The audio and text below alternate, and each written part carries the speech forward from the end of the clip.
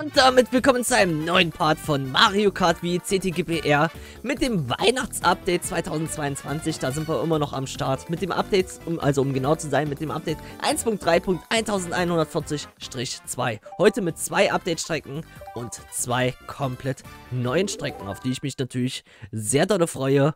Und dann wollen wir nicht lang schnacken, wollen wir direkt loslegen. Und wir fangen natürlich erstmal mit den Update-Strecken an. Mal gucken, ob es da Änderungen gibt, ob die generell neu gemacht wurden, wie auch immer. Wir haben insgesamt heute vier Strecken. Daher werde ich auch hier dementsprechend vier Strecken auswählen. Solo-Rennen und heute fahren wir mit Bowser Jr. Bowser Jr. sind wir schon länger nicht mehr gefahren und hat auch einen anderen kleinen Grund, warum ich mit dem fahre. Und ich habe mal wieder Bock auf ein Bike. Ich hatte in letzter Zeit Karts, jetzt äh, muss mal wieder ein Bike her und wir nehmen dieses Bike hier. Wir nehmen das und dann suche ich die erste Strecke raus. Die erste Strecke des Parts ist hier in dem blauen Münzen Cup. Äh, Ice Peak Mountain sind wir in Part 44 gefahren. Und hatte von mir eine 2 Plus bekommen. Ist eine, ja, kleine winterliche Strecke mit einem Winterdorf. Mit einer Winterhöhle, die sehr viele Farben hat. Und an sich war sie ganz solide, ganz schön. Einziger Kritikpunkt so ein bisschen sind ein paar Löcher im Boden, die man nicht äh, gleich sieht. Ähm, ansonsten ist sie ganz in Ordnung. Gucken wir uns die also mal an. Vielleicht hat sie auch Änderungen bekommen. Ich bin gespannt. Gut, da sind wir. Grafisch sieht sie schon mal gleich aus. Das kann ich schon mal sagen. Ich habe das nebenbei hier auch noch offen. Grafisch sieht sie komplett gleich aus, was ich ein bisschen schade finde. Generell kann ich ja mal kurz schon mal ein Fazit bis ein bisheriges Fazit zum Weihnachtsupdate bringen. Denn bisher bin ich vom Weihnachtsupdate tatsächlich ein bisschen enttäuscht. Nicht so dolle, weil wir hatten im letzten Part eine richtig schöne neue Strecke. Aber von den Update-Strecken bin ich ein bisschen enttäuscht, weil... Ja, äh, die, wir haben ja schon die letzten Weihnachtsupdates uns angeguckt. Wir haben 2021, 2020 auch gehabt. Jetzt sind, jetzt sind wir ja bei 2022. Also, ja, äh, das ist das dritte Weihnachtsupdate, was wir uns gemeinsam hier im Let's Play angucken.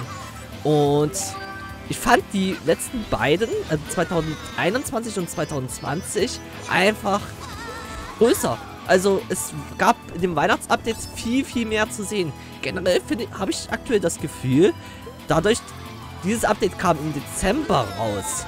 Und ähm, 25. Dezember. Und jetzt ist es März und es ist seitdem kein Update mehr rausgekommen. Das ist ungewöhnlich für Mario Kart wie CDGPR. Normalerweise kommen Updates in, innerhalb von ein bis zwei Monaten raus. Liegt das vielleicht an den Boosterstrecken von Mario Kart 8, dass da dementsprechend hier jetzt eher weniger was gemacht wird? Oder woran liegt das? Ich habe da keine Ahnung. Das verwundert mich so ein bisschen. Und das könnte auch erklären, warum es hier nicht so viel gibt. Das ist halt noch so das, was man hier mit reinnehmen konnte. Aber sonst, ja. Hier diese Strecke zum Beispiel. Ich sehe hier keine Änderungen. Nichts so wirklich. Man kann auch, auch rechts auf den Dächern fahren. Das zeige ich dann gleich noch in der letzten Runde. Aber an Änderungen sehe ich hier nichts. Die Gegner waren schon alle da. Texturen sind alle gleich. Irgendwo vielleicht eine, eine kleine Änderung gemacht. Das ist gut möglich. Aber ja, dementsprechend bleibe ich natürlich hier auch bei der Bewertung von der 2 Plus. Finde ich immer noch gerechtfertigt. Finde ich auch so in Ordnung. Und ja, das finde ich... Oh, guckt euch mal die Gegner an auf der Karte. Das ist mir im Let's Play gar nicht aufgefallen, dass da Gegner hängen. Oder ist das neu? Ich weiß es nicht. Warum hängen die da? Mann, Mann, Mann. Auf jeden Fall, ja, es ist so ein bisschen... Ja, die neuen Strecken sind cool. Die neuen Strecken sind cool. Ach du Heilige. Okay, ein bisschen riskant hier, das zu fahren, tatsächlich, die Dächer. Okay, äh, ja. Die neuen Strecken sind alle sehr gut und äh, sehr cool. Gerade auch die eine Strecke im letzten Part. Mal gucken, wie die zwei neuen Strecken des heutigen Parts sind. Und der hat mich tatsächlich... Nee, warte. Ach, Bowser hat mich... Äh, ich hatte Bowser überrundet, kann das sein? Ja, er war letzter Platz. Okay. Okay, äh, verstehe. Daher, ja, die Update-Strecken eher nicht so gut, die neuen Strecken umso geiler. Machen wir noch mit der äh, letzten Update-Strecke des heutigen Parts noch weiter, bevor wir zu den neuen Strecken gehen. Jetzt kommt wenigstens eine sehr, sehr schöne Strecke, die von mir damals eine 1 Plus bekommen hat. Und zwar Halogen Highway. Gefahren sind wir sie in Part 49 und die war schon sehr, sehr cool. So ein bisschen außerirdisch, ein Highway irgendwie im Aus, äh, ja, außerhalb der Erde, irgendwo auf einem fremden Planeten oder irgendwie so. Daher, ja, ich bin sehr gespannt, was daraus wird. Gut, da sind wir. Ist das Wasser eventuell anders? Und der Himmel, der Himmel ist auch anders. Der, da war vorher nicht so rot, sag ich mal. Das Wasser könnte anders sein. Ich, na, na, vielleicht ein bisschen heller. Vielleicht ein bisschen heller. Und der Himmel war doch schon feuerrot. Okay, doch, doch, Grafiken sind noch gleich. Der Himmel war vorher auch schon so blau ins Rote, so sonnenuntergangsmäßig. Gut, genießen wir sie einfach mal. Genießen wir sie einfach mal. Ganz viele verschiedene Passagen, ganz cool, generell ganz cooles Zeug hier überall. Sehr abwechslungsreich, sehr groß auch dementsprechend. Und doch ganz nice. Also gehen wir zuerst mal lang. Hier durch den Tunnel, dann geht man hier auf eine Autobahn und ich möchte nicht... Oh, hier auf die Bombe drauf. Äh, da rechts steht, steht ein Auto. Äh, das war gerade sehr knapp. Dann teilt sich hier der Weg auf. Wo wir hier dann nach links oder nach rechts gehen können, ist beides so ungefähr dasselbe. Und hier links sind, ich habe sie Außerirdische genannt. Aber man sieht, es sind Creeper. Ich weiß nicht, warum ich in dem Video nicht erkannt habe, als ich die schon mal gefahren bin, dass das Creeper sind. Ich habe da irgendwie gesagt, das sind Außerirdische aus irgendeinem Film. Ich glaube, ich habe die schon mal gesehen. Irgendwie so. Äh, ganz strange. Auf jeden Fall sind da ein paar Creeper auch. warum auch immer hier Creeper sind. Keine Ahnung. Dann geht es hier durch einen großen Tunnel, der auch mega cool aussieht. Und ihr seht ja schon, sehr große Strecke. Warte, ich sehe, ich merke gerade eine Änderung. Und zwar, wir fahren jetzt statt drei Runden, zwei Runden. Sonst ist man äh, drei Runden gefahren. Jetzt nur zwei Runden. Was ich ganz gut finde, weil es halt eine sehr, sehr große Strecke ist. Die halt mega, mega cool ist. Hatte ich schon gesagt, was ich dir gegeben habe? Ich glaube ja. Ich hatte dir eine 1 plus gegeben. Ich, doch, habe ich gesagt, habe ich gesagt. So, komm, be beweg dich, beweg dich. Was ich gut finde, dass ich jetzt so weiter vorne bin. Weil in dem Part, wo wir die schon mal gefahren sind, bin ich die ganze Zeit runtergeschubst worden. Was sehr, sehr fies war, weil ich dann einen kleinen Charakter gefahren bin. Total bin ich da Wohl auch mitlaufen. So wie Bowser Jr. Daher bin ich ganz froh, dass ich jetzt vorne bin. Dann kann mich keiner unterschubsen. Ganz einfach. Ja, und sonst sieht die auch sehr, sehr cool aus. Oh, ja, ja, das war knapp. War das Auto? Your Speed 60. Ah, ich bin ein bisschen zu schnell. Oh, ein bisschen dolle. Das ist schon Fahrverbotsbereich mäßig. 115 in der 60er-Zone. Eieiei. Eieiei, das ist Fahrverbot. Auf jeden Fall. Und einige Punkte. Und auch 82 in der 60er-Zone. Selbst das ist... Ist das schon Fahrverbot? 20 zu viel? Außerorts? Wir sind... Das war jetzt eigentlich auch noch... War das auch schon außerorts? Ich weiß es nicht. Innerorts ist das, glaube ich, schon Fahrverbot. Aber außerorts, glaube ich, noch nicht. Ich kenne mich da nicht so aus. Ich halte mich doch an die Geschwindigkeitsbegrenzungen. Hoffe ich. Äh, manchmal nicht, aber dann, dann meistens, krieg, wenn ich nicht, mich nicht daran halte, kriege ich das nicht so mit, wenn ich zum Beispiel irgendwo ortsunkundig bin. Heißt, äh, in einer Stadt, wo ich noch nie war. Und dann ist jetzt hier 50, ist jetzt hier 70. Ah, das ist immer so ein bisschen schwierig. Aber gut. Ja, Strecke ist sehr, sehr schön. Ich bleibe, wie gesagt, bei einer 1 Plus und finde ich ganz nice. Bitte lande ganz gut. Sehr schön. Und auch da hinten die Rakete. Äh, was ich auch irgendwo auf dem Plakat eventuell gelesen habe, ist nach der Stadt, das hatte ich, als ich mir das Video angeguckt habe, wo ich die schon bei Farm bin, Kerbal Space Program. Habe ich, glaube gelesen. Das ist ein Spiel, äh, wo man halt nach, äh, ja, irgendwo hinfliegt oder irgendwie so. Ich habe das Spiel auf Steam, ich habe es, glaube auch schon mal ausprobiert, glaube ich. Ähm, Vielleicht kann ich mir das selber nochmal irgendwann mal angucken, wer weiß. Auf jeden Fall, ich glaube, da ist irgendwie auch an das Spiel angelehnt. Glaube ich zumindest. Gut, jetzt warten noch zwei neue Strecken auf uns. Es gibt Strecken, da weiß man sofort anhand des Namens, welche Strecke gemeint ist. Dieses Mal Athletic Raceway. Kam im Weihnachtsupdate 2020 dazu. Part 75 sind wir sie gefahren. Das war eine Strecke mit verschiedenen Sportarten, wo wir da so lang gefahren sind an Fußballfeldern, Volleyballfeld, Schwimmbad, so ein Schwimmbecken und war doch sehr, sehr cool, hat von mir eine 2 Plus bekommen und ich fand sie sehr innovativ vor allen Dingen. Und sie ist jetzt leider rausgeflogen. Ich bin die auch gerne im Online-Modus gefahren und das war so eine Strecke, die hat man sich gemerkt, auch vom Namen her. Äh, eben als ich das gelesen habe, wusste ich, ach, die Strecke ist es. Und interessant, dass da ein Fußball in der Itembox drin ist. Okay. Soll so Art wirklich Stadion sein? Das ist sehr lustig wenigstens gibt es hier Pfeile, dass ich auch weiß, wo es lang geht, weil das war so ein bisschen meine Sorge, dass ich zu Zeit nicht weiß, wo es weitergeht. Und ich habe so an sich eigentlich alle im Streckenkopf. Mehr oder weniger.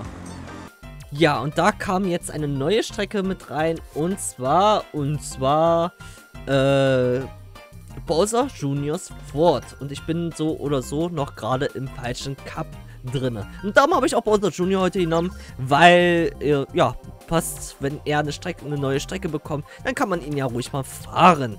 Und ja, die fahren wir dementsprechend jetzt auch.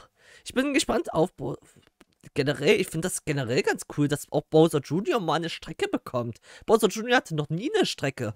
Macht das bitte häufiger. Oh, das ist eine Super Mario Sunshine Bemalung. Oh, das ist alles, oder? Ist das aus Super Mario Sunshine? Ich glaube fast ja. Auf jeden Fall ist das sehr, sehr cool. Der Grafik, okay. Links Super Mario Galaxy Schiff sehe ich da. Boah, ich bin sehr gespannt. Aber generell, was mir gerade hier so wirklich auffällt, so manche andere Charaktere hätten auch noch Strecken verdient, wie zum Beispiel Bowser Jr., eine Kamek-Strecke. Also ich meine in den offiziellen Mario Karts natürlich. Boah, der Pfeil auch in diesem Grafikstil. Das ist ja nice. Und generell typisches Bowser Kart. Oder warte mal.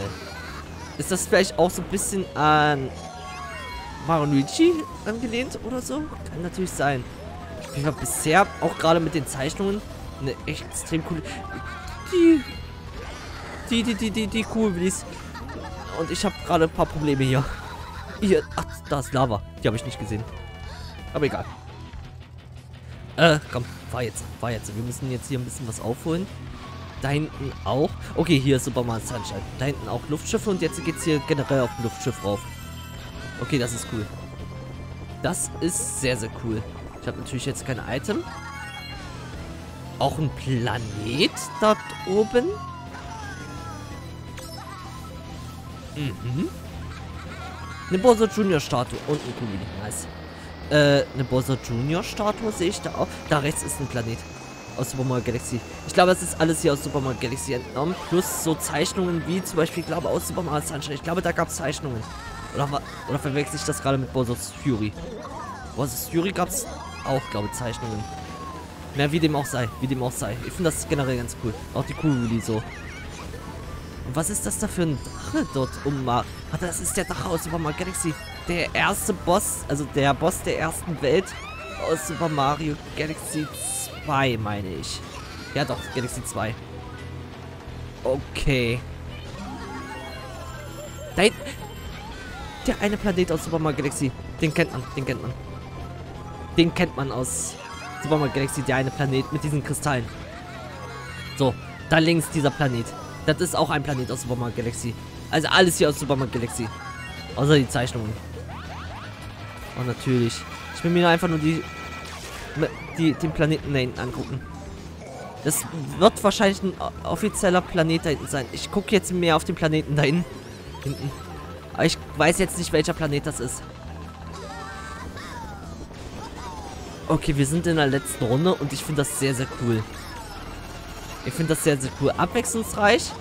Grafik ist okay, sag ich mal. Teilweise vielleicht ein bisschen zu pixelig noch, aber ähm, sagen wir es mal so, die Zeichnungen äh, holen das auch wieder raus. Die Lava fand ich hier dann nicht ganz so cool. Die müsste ein bisschen mehr rot sein und auch die Stelle ist generell ein bisschen, ja, suboptimal. Ich bin bei einer glatten 1 eine 1 Plus, da müsste so ein bisschen die Lava noch besser, also Grafik noch vielleicht ticken besser an manchen Stellen. Und noch äh, dieser eine Sprung da verbessert werden. Aber ich finde die trotzdem sehr, sehr cool. Ist eine schöne Überraschung. Ist eine sehr, sehr schöne Überraschung. Komm, spring, spring, oder so. Na gut. Ich brauche halt eine Abwehr-Item, weil ich will jetzt noch erster werden. Bitte. Das wäre sehr, sehr, sehr nett.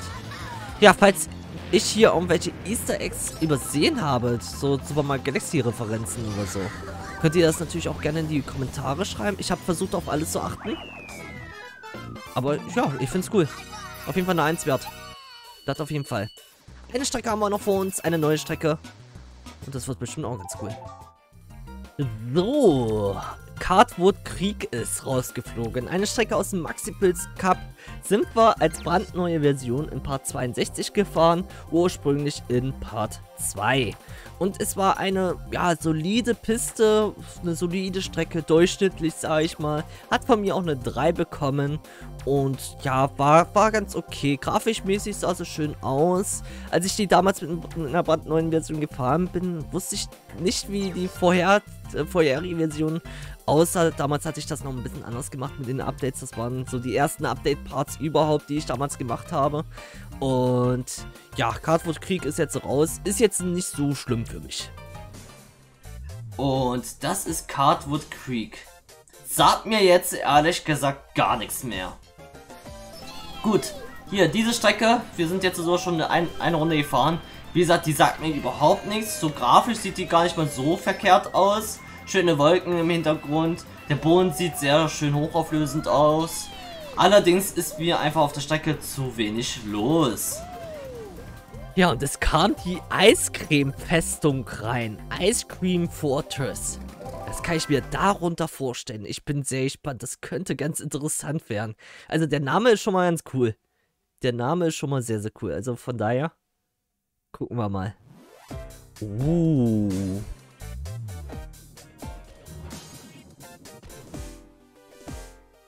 Kriege jetzt äh, Hunger auf Eiscreme. Das macht hungrig. Und ich muss sagen, so vom ersten Eindruck her sieht die Strecke schon mal ganz nice aus. Drei Runden fahren wir. Zuerst außerhalb, so ich sehen. Außerhalb ist die ganze Eiscreme, sag ich mal. Und dann gibt es die Festung, wo aber keine Eiscreme mehr ist. Gucken wir mal. Das erinnert mich hier an wie äh, dicke Schikane. Ist glaube auch die Musik. Links gab es einen Weg und hier rechts einen Weg. Links war wahrscheinlich eine Abkürzung mit einem Pilz. Ich hatte in dem Moment einen Pilz. Ja, gut. Und Jetzt geht's hier ins Schloss. Oh, das Schloss sieht richtig cool aus. Das sieht richtig cool aus. Hier wird Eiscreme wahrscheinlich gelagert, würde ich mal schätzen. Wahrscheinlich auch das Ice Cream Kingdom, würde ich mal sagen. Äh, und dann geht's hier um die Kurve. Keine große Strecke, obwohl doch ein... Ist okay von der Größe her. Ist okay, wir sind gleich bei 45 Sekunden. Sind gleich im Ziel. Circa 50 Sekunden lang, das geht eigentlich voll klar. Das geht voll klar, ist eine schöne Länge. Standard, sag ich mal. Dann sind wir mit einer Runde durch. das hier ist wirklich dicke Schikane so. Mit den Halfpipes und mit dem Schnee. Jetzt will ich da links lang fahren. Jetzt bin ich natürlich noch zusätzlich klein, habe keinen Pilz. Ach du Heilige, das war eine falsche, das war eine doofe Idee. Das war so eine doofe Idee. Gerade als kleiner Bowser Junior. Okay, ich wollte euch das mal hier zeigen, diesen Weg. Boah, und das als kleiner Bowser Junior noch. Kann man hier über den Löffel fahren? Tatsächlich. Ist ja auch ganz nice. Hätte ich da hochgekonnt? Ah, nee, ich glaube nein. Ich glaube nein. Aber doch, ich finde die sehr, sehr cool. Grafisch ist sie sehr, sehr schön. Noch nicht eine 1 Plus von der Grafik her, aber doch schon im 1er Bereich, 1 bis 1 Minus, so, wenn ich nur die Grafik bewerten würde. Allerdings hätte man auch langfahren können. Abwechslungsreich, man hat einerseits äh, draußen die Passage und dann hier im Schloss generell das. Und die Idee ist halt auch ganz cool. Also diese Strecke ist meiner Meinung nach auf jeden Fall im 1er-Bereich. Äh, nicht da jetzt lang fahren, wir fahren jetzt hier lang. Die Frage ist nur was, okay, äh, grafischmäßig hier, das Eis könnte ein bisschen schöner aussehen. Muss man einfach mal so sagen. Äh, um mal generell zu überlegen, wo könnte man noch